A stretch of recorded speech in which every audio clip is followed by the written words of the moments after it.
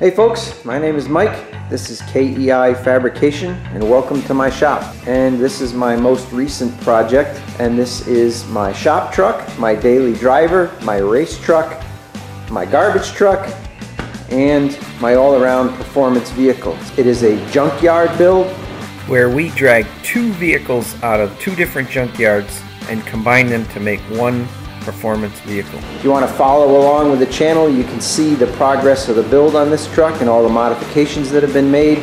So this truck has already been to car shows, it's been road racing, it's been drag racing, and it's been circle track racing. So we've got a bunch more new projects in the queue. We're looking forward to meeting more of you. And for those of you who've been with the channel for a while, thanks so much for watching. I appreciate your comments and the interaction and encouragement. I hopefully through this project we've gained some credibility with you folks and let's see what's coming up next. Okay folks, some of you have asked for some specific information regarding putting the 2000 Ford Explorer master cylinder on the Mazda.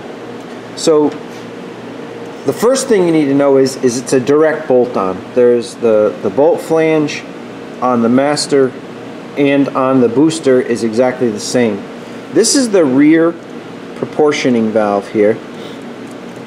And all as I did was take the line that used to go to the master cylinder and another line that used to go to the rear and looped it. So I just put a 3 16 line in right here to loop it around and you can see that this rear plumbing out of the master cylinder, it's actually stamped R, goes around into the bottom of the factory Mazda proportioning valve and then to the rear.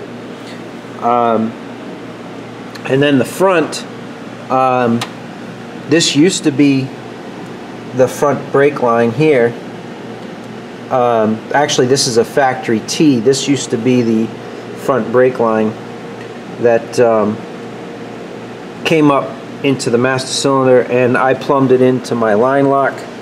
So it comes directly out of the front half of the master cylinder into the line lock into a T and then these distribute out through the uh, to the two front calipers. So um, there's an additional modification that needs to be made and it is super simple and I'm going to disassemble this and show you exactly what has to happen.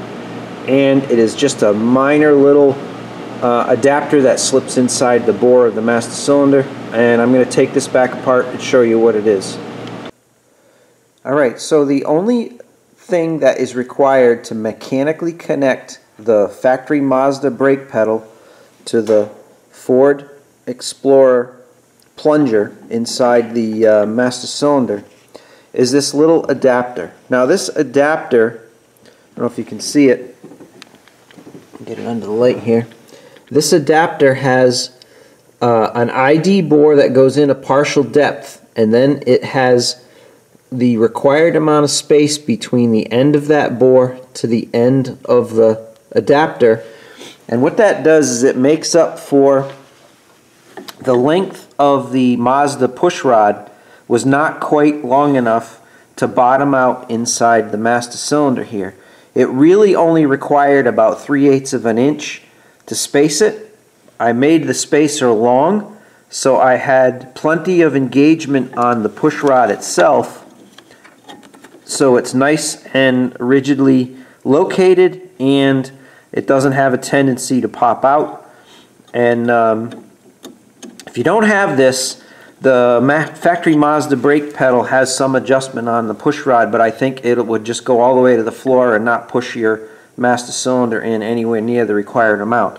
So I did some careful calculations based on the stock Mazda master cylinder and the Ford Explorer. This fits precisely inside. There's almost no slop. It's a nice slip fit. And I put a little bit of synthetic grease on this uh, several thousand miles ago. It's been um, probably eight months since I did this conversion and this just is was perfectly lubricated. There's no scoring or scuffing, and um, this system has worked flawlessly since the day I put it in. So I am going to get a quote on these so they can be manufactured. If you are using the Ford Explorer master cylinder, I highly recommend this because I don't believe the stock Mazda master cylinder, at least in my experimentation, had anywhere near the volume required to operate the dual piston calipers from the Ford Explorer. So this is kind of a matched component with the 8.8 rear disc brakes and also the Ford Explorer dual piston caliper front brakes. Um, this I didn't, you know there's no science, no calculations involved. This is the right master cylinder for that package. So um, I will get a quote on these and you can purchase this as an option along with the rest of the things and I'll let you know how that goes. So this is basically what this looks like uh, with a section view if I cut this down the middle and we expose the internal detail. This area right here is designed for the plunger of the Mazda brake pedal push rod from the master cylinder booster and then this bore goes in and bottoms out inside of the Ford Explorer booster. And this gives me the engagement so it stays registered on the push rod and this cylinder bore here rides nice and smooth and it's long enough so it doesn't want to um, get bound up inside the cylinder bore of the master cylinder itself and it is chamfered um, on both ends so it automatically has um, encouragement to move back and forth. So again some nice synthetic lubricant the thing goes in there nice and um, I've had no problems with any issues between the brake booster and the master cylinder.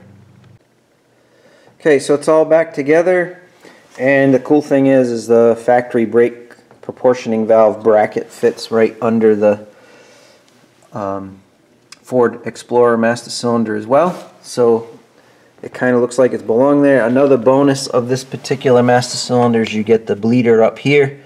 So um, the bench bleeding and then on vehicle bleeding all goes really really well. So uh, all in all, it's a nice package, and you will not be disappointed with the stopping power that you gain over the stock brakes. And with the conversion package, obviously, you have the 5 on 4.5 bolt pattern that opens up a whole world of opportunities for wheels from vintage Ford 14s all the way up to, to 20s. So, um, anyway, uh, one thing I want to make clear is that this package Works great with the rear disc brakes installed on the Ford 8.8 rear and the dual piston calipers from the same Ford Explorer uh, 2000 Ford Explorer Limited.